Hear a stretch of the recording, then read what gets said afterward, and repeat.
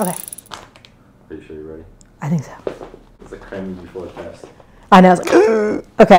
Okay, ready? Uh, go ahead.